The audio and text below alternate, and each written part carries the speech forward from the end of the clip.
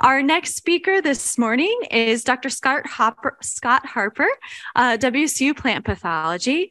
I asked him to talk about some of the other stone fruit viruses in addition to X disease that we have in Washington because this year was a weird year. It was cool and we saw quite a few different viruses and um, we wanted to review what those are that we might be confusing with X disease or might have been ignoring. So thank you very much, Scott, for covering this topic. All right. Good morning, everybody. Um, so, yes, like Tian said, I'm talking about the other cherry viruses today. I will not, for once, be talking about X disease and little cherry, but if anyone has any questions about it, here I am. So, last year we had, yeah, it is last year now, isn't it? We had a really cool spring. Now, normally this doesn't matter, but much like Gary mentioned this morning, temperature matters for pathogens particularly viruses, because they don't really care about the wet, they don't care about the sunshine. They like the temperature. Temperature really matters for viruses. And we had a really cool spring last year. And this meant that we saw a couple of viruses that we hadn't seen for a couple of years because we'd had relatively warm springs prior to that popping out, starting to show up in people's orchards. And so we thought it was a good time to remind you that these things are out there, they exist, they matter. Uh, because they have long-term effects on the productivity of your orchards. And as we get out of the X disease problem and get this thing under control, some of these other viruses are going to come back and we're going to see more of them because we'll be replanting. So, oops, that's gone backwards. So, we're likely to have another cool spring this year. At least that's what the forecast says. It's been kind of weird now, so we don't really know. But understanding what they look like, what you're seeing, and how to deal with them is going to be very important moving forward. So we're going to cover well, five viruses that are around and quite common up here. First, prune dwarf, prune ring spot, two viruses. Usually, if you've got one, you probably got them both. Cherry rasp leaf, cherry leaf roll, and tomato ring spot. Especially if anyone here is from Oregon, that one matters to you guys. So, prune dwarf and prune necrotic ring spot, they're probably a couple of the oldest viruses that we have in cherry. They're ubiquitous in the Northwest. About 50% of the older plantings have it, probably higher. They're, these things are everywhere. Now, much this is going to sound like a broken record by the time I'm done with this talk, but these are all transmitted by propagation or root grafting between neighboring trees. Pretty often, necrotic ring spot are also transmitted by pollen, which is kind of a nuisance. It's inefficient. It's not you know, maybe one in every couple of hundred pollinations causes this spread over time. But there's a lot of pollen out there. There's a lot of infected trees shooting out infected pollen, and there's a lot of it landing on your trees. So over time, it's almost a certainty that it's probably going to wind up in your trees. It doesn't have any insect vectors that we know of. There's been a lot of speculation in the last ooh, 80 years since these things were relatively described and reported, but no one's found anything yet. Well, there we go. So both of these two viruses cause long-term damage to your trees in terms of decreasing yield, growth, and productivity. The one of the things that's kind of interesting about them and what where we start to see crossover some of the Cherry X symptoms is they can cause smaller heart-shaped or really pointed fruit, as you can see here. This is a really good example that uh, one of the uh, field crew found. So this can be mistaken for little cherry, but usually you don't see the color um, change as well. So smaller pointed fruit, probably prune dwarf or necrotic ring spot. Prune dwarf could also cause fruit deformation, makes them lumpy, makes them smaller, makes them kind of ugly looking, sometimes with um, calluses or cankers on the outside. Uh, depends on the variety, depends on the environment, depends on when they're infected. So cool springs give you this. Prune dwarf, you've got foliar symptoms, leaf symptoms. This is primarily what you'll be seeing when you encounter these things. Fruit tends to take a lot of um, pathogen there, foliar symptoms not so much. We see mottling, the yellow spots on the leaves. Uh, sometimes chlorotic rings, so yellow rings around the leaves, or sometimes distortion around the leaf margins or around the veins and midrib. Similar, prune dwarf or prune ring spot, much the same. Symptoms appear with cold springs. You'll start to seeing these things, the symptoms start to appear in April, May, through to about June. You don't see them generally later in the year. This is an early season symptom for the most part. Sometimes pronounced ring spots, distortion of leaf margin, the depressions, as you can see in the first picture. You can see spots, mottling, uh, sometimes shot holing, uh, different from fungal shot holing. It's kind of irregular, just appearing in the leaves. Very, very common, very, very much something you're going to encounter if we have a cold spring. Now, controlling these things is really, really hard. They've been trying for 80 years and haven't really gotten on top of this thing because it's not a, a, significant enough pathogen to say let's eradicate an orchard, but it's something that's a long-term annoyance. Symptoms get worse and worse as the seasons go on, as the years go on, and you'll start to see significant impact in your growth and productivity, particularly as trees get 10 years past infection. Certainly, if you've got trees that are 20 years old or something and really getting up there in age, it starts to really start to impact your plants.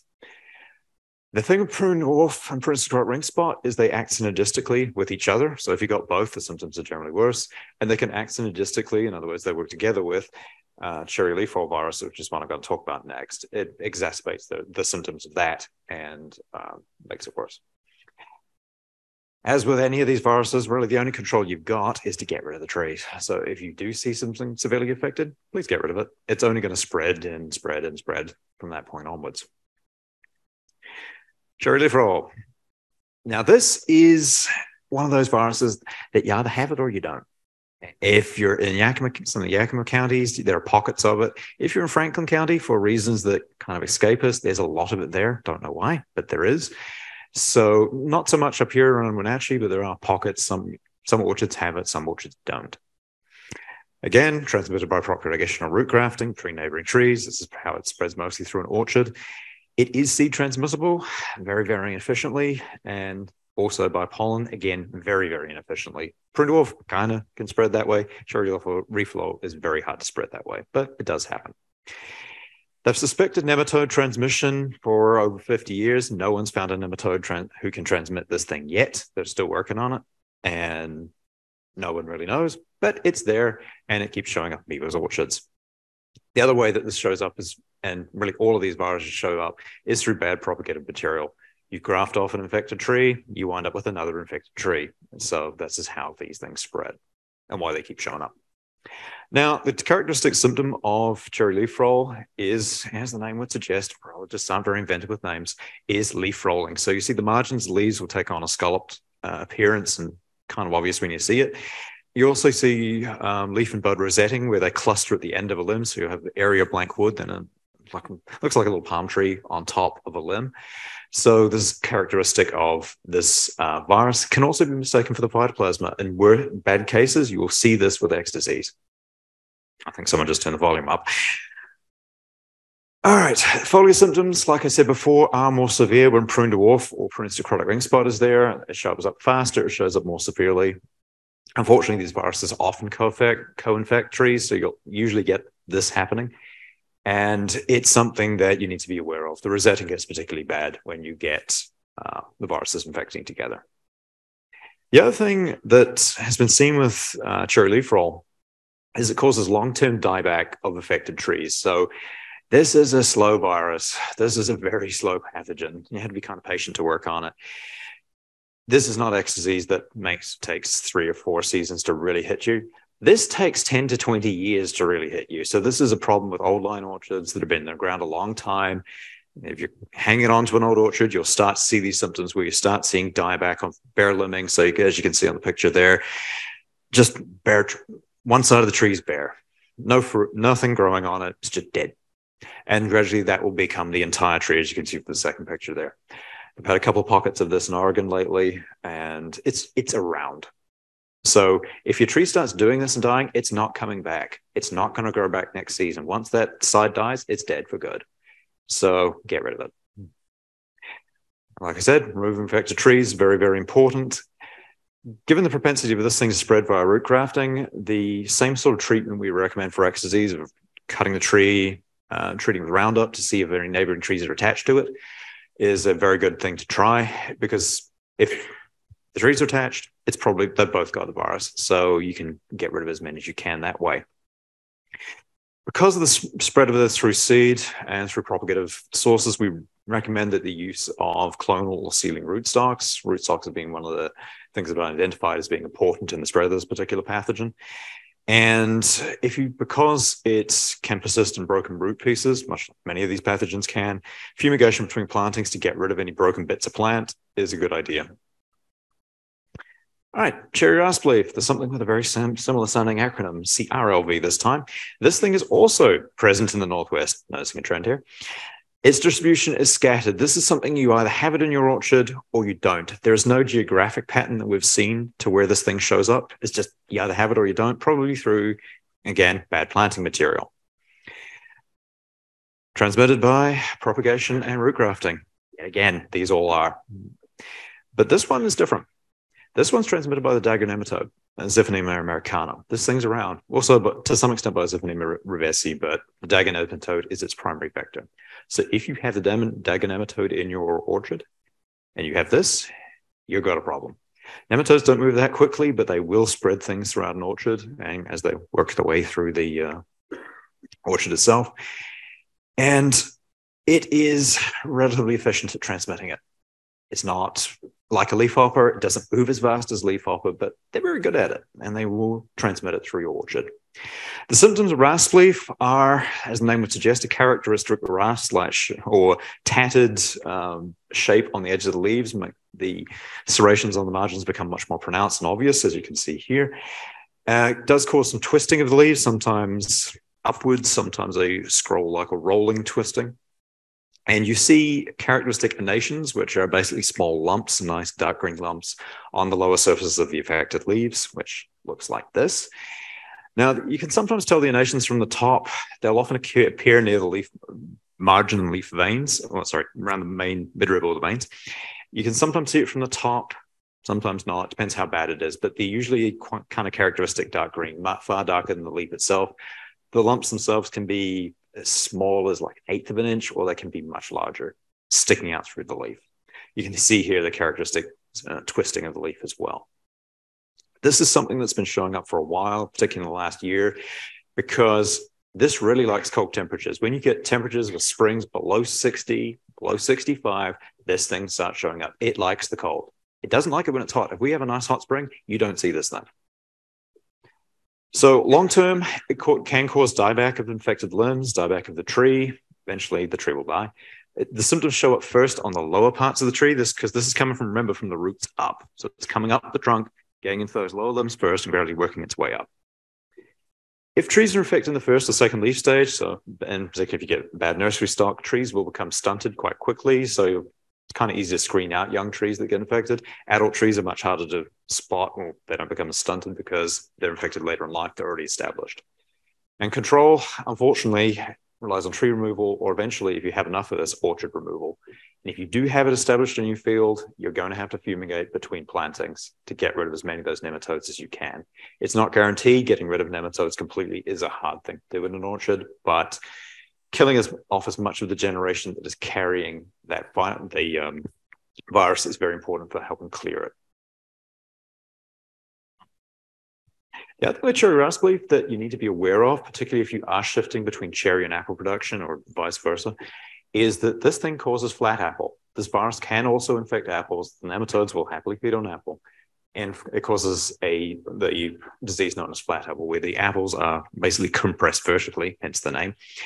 And if you are going to rip out a cherry orchard and you've got this, you've got to, and you're going to plant apples, you absolutely need to fumigate to get rid of this thing.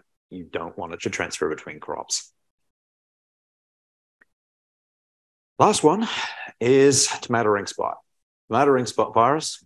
This cherry leaf roll and uh, cherry rasp leaf are all in the same virus family. And so you notice a lot of commonality between the three. This has been found in scattered distributions throughout much of the Northwest, particularly in Northern Oregon. So Hood River, Dalles, there have been a few sites there that have had a large outbreak of this in the past uh, two to three years. It's is found up here in Washington. It's scattered. It's around. It's one of those viruses that's around. Unfortunately, it infects absolutely everything there's there are very few plants it can't get into. It can infect row crops. It can infect every sort of tree fruit you can think of. You got grapes, it can infect grapes. It can infect everything. It's horrible. Unfortunately, again, transmitted by root and root grafting and propagation of infected material. It's also seed transmissible, shows up in it's inefficient, but it can be transmitted through seed. And this thing's got a lot of nematode vectors, primarily dagger nematode, but there are other nematodes that can transmit this. They're around, they are present, they are a menace, particularly for transmitting or changing between crops. In cherries, it's got several diagnostic symptoms that um, it has, but it's sometimes easy to confuse with other viral diseases.